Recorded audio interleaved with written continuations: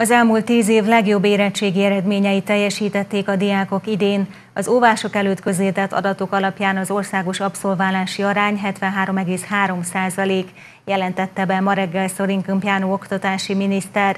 Hozzátette, a tavalyi évhez képest sokkal jobban megszervezték az országos vizsgákat. Az is igaz azonban, hogy az idei végzősök közül 40 ezeren nem is jelentkeztek a vizsgára.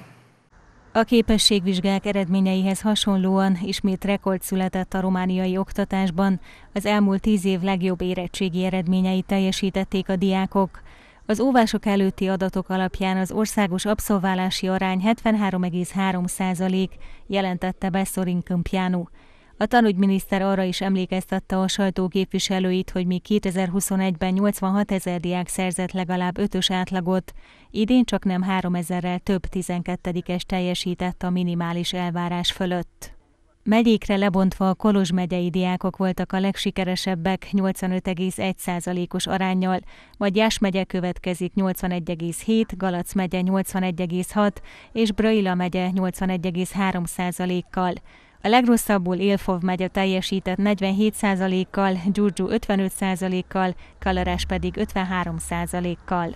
Au fost concepute foarte corect a tételeket nagyon körültekintően állították össze a megfelelő kompetenciákhoz mérten. A nehézségi szinteket úgy tervezték, hogy az 5-ös és a 6-os osztályzatban, illetve a 7-es és a 8-as osztályzatban tükröződjenek, a nehezebb tételeket pedig a 9-es jegy fölött elérők számára tervezték meg. Tehát a tételeket megfelelően tervezték meg, nincs viszont összehasonlítási alapunk a más években adott tételekkel.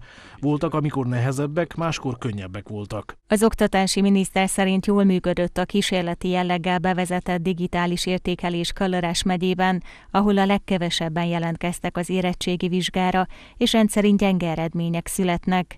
A digitális dolgozatjavítást jövőre szeretnék az egész országra kiterjeszteni, részletezte a tanügyminiszter. A minisztérium adatai szerint összesen 126.454 tanuló iratkozott fel idén az érettségire, közülük 111.329-en idén, míg 15.125-en korábbi években fejezték be tanulmányaikat.